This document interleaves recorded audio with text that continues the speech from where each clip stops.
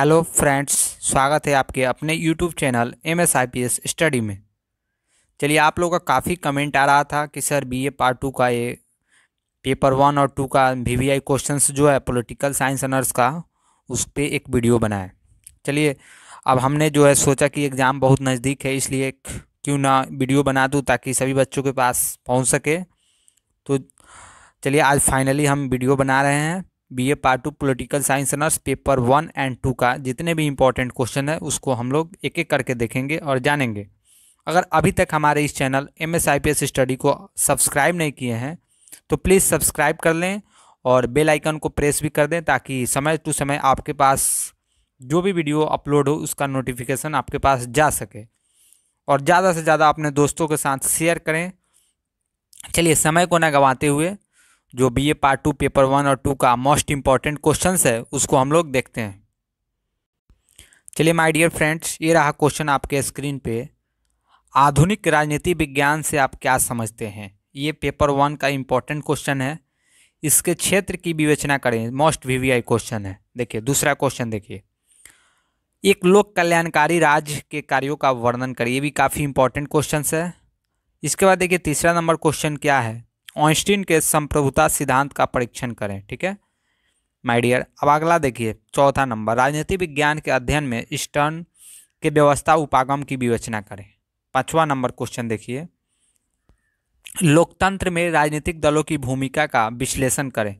छठा number question जो है आपके स्क्रीन पे स्वतंत्रता की परिभाषा दे तथा इसके विभिन्न प्रकारों की विवेचना करें। देखिए, सातवां क्वेश्चन है लोकतंत्र की परिभाषा दे, इसकी सफलता के लिए आवश्यक शर्तें का जो है वर्णन करें। चलिए अगला क्वेश्चन है कानून से आप क्या समझते हैं? इसके विभिन्न स्रोतों कौन कौन से है, इसको बताना है, ठीक है? मोस्ट इंपॉर्टेंट क्वेश्चन है। अगला देखिए, नौ नंबर क्वेश्चन जो है। सत्याग्रह की गांधीवादी अवधारणा का मूल्यांकन करें। मोस्ट वीवीआई क्वेश्चन से। ये एग्ज़ाम में बार बार पूछा जाता है। दसवां नंबर क्वेश्चन है मार्क्सवाद की विशेषताओं का जो है परीक्षण करें। ग्यारहवा नंबर क्वेश्चन है, टॉप ट्वेंटी का। एक उदारवादी राज्य के कार्यों की जो है विवेचना करें। बारहवा नंबर, ट्वेल्व नंबर क्वेश्चन है राज्य की परिभाषा दे तथा इसके आवश्यक तत्वों की जो है विवेचना करें। तेरहवा नंबर क्वेश्चन है माइडियर प्रजातंत्र की परिभाषा दे तथा इसके गुण दोषों समस्याओं का परीक्षण करें। देखिए, चौदहवा नंबर क्वेश्चन है, राजनीतिक संस्कृति की परिभाषा दे तथा इसके विभिन्न प्रकारों की जो है विवेचना करें। देखिए, पंद्रहवा नंबर फिफ्टीन नंबर क्वेश्चन है। राजनीति के अर्थ स्वरूप तथा क्षेत्र का वर्णन करें। देखिए सिक्सटी नंबर, सोलहवा क्वेश्चन है। राज्य के आदर्शवादी सिद्धांत का जो है परीक्षण करें। देखिए, सत्रहवा नंबर क्वेश्चन है। संप्रभुता की परिभाषा दे तथा इसकी मुख्य विशेषताओं का जो है वर्णन करें। अब देखिए, अठारहवा नंबर क्वेश्चन है। कानून की परिभाषा दें। कानून की परिभाषा दें इसकी विभिन्न प्रकारों का जो है, वर्णन करें, ठीक है? अब देखिए नाइन्टी नंबर, उन्नीसवा नंबर क्वेश्चन है। राजनीतिक दल की परिभाषा देता था, इसके विभिन्न प्रकारों का जो है वर्णन करें। अगला देखिए लास्ट टॉप ट्वेंटी का पेपर वन का लास्ट क्वेश्चन है। औचित्य पूर्णता पर एक जो है निबंध लिखना है, ठीक है माय डियर चलिए, अब हम लोग देखते हैं पेपर टू का most important question dear student ये रहा क्वेश्चन आपके स्क्रीन पे। पेपर टू का मोस्ट इंपॉर्टेंट क्वेश्चन पहला क्वेश्चन है, तुलनात्मक राजनीति के प्रकृति व महत्व की जो है, विवेचना करें। दूसरा क्वेश्चन है, अमेरिकी न्याय प्रणाली में न्यायिक पुनर्विलोकन की कार्यकरण का जो है, परीक्षण करें। तीसरा क्वेश्चन है, अमेरिकी और स्विट्जरलैंड के माध्य संवैधानिक संशोधन प्रक्रिया की जो है, तुलना करें। ठीक है माइडियर चलिए, अगला क्वेश्चन से हम लोग देख चलिए, अगला क्वेश्चन से रहा आपके स्क्रीन पे। ब्रिटेन में जो है, दबाव समूहों की भूमिका की विवेचना करें। पांचवा नंबर क्वेश्चन है ब्रिटेन कॉमन सभा की शक्तियों एवं कार्यों की जो है तुलना अमेरिकी प्रतिनिधि सभा से करें। छठा नंबर क्वेश्चन है, स्विस संघवाद की जो है प्रमुख विशेषताओं का विश्लेषण करें।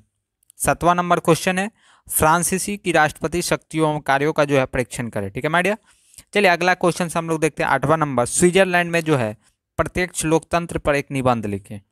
देखिए, अगला क्वेश्चन है, नेपाल में राजनीतिक दलों की भूमिका की विवेचना करें। ठीक है? चलिए, अगला क्वेश्चन दसवां नंबर है। ब्रिटेन में विधि के शासन से आप क्या समझते हैं? यह जो है, किस प्रकार का इंग्लैंड में कार्यरत है, इसको देखना है, ठीक है? अगला देखिए, ग्यारहवा नंबर क्वेश्चन अमेरिकी सीनेट के संगठन अधिकारों एवं कार्यों की तुलना फ्रांसीसी सीनेट के साथ कीजिए। बारहवा नंबर क्वेश्चन है। फ्रांसीसी संसद के दोनों सदनों के बीच जो है, पारस्परिक संबंधों की विवेचना करें। तेरहवा नंबर क्वेश्चन है। फ्रांसीसी दलीय पद्धति की तुलना स्विस दलीय पद्धति के साथ करें। चौदहवा नंबर क्वेश्चन है।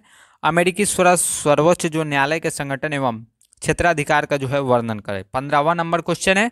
अमेरिकी राष्ट्रपति की शक्ति एवं कार्यों की तुलना फ्रांसीसी राष्ट्रपति से करें। ठीक है?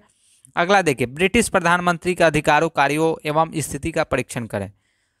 अगला इंपॉर्टेंट क्वेश्चन है। अमेरिकी राष्ट्रपति के अधिकारों एवं कार्यों का जो है परीक्षण करें। ठीक है? चलिए, अगला इंपॉर्टेंट एट्टी नंबर, अठारह नंबर क्वेश्चन है। नेपाल के प्रधानमंत्री की नियुक्ति, अधिकार, कार्य एवं स्थिति की विवेचना कीजिए, ठीक है?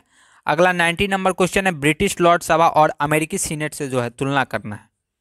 ट्वेंटी नंबर क्वेश्चन से, स्विस संघीय सभा के संगठन, अधिकारों एवं कार्यों का जो है परीक्षण करें। चलिए, ट्वेंटी वन नंबर क्वेश्चन है, अमेरिकी प्रतिनिधि सभा के संगठन, अधिकारों एवं कार्यों का जो है परीक्षण करें। Okay, my dear?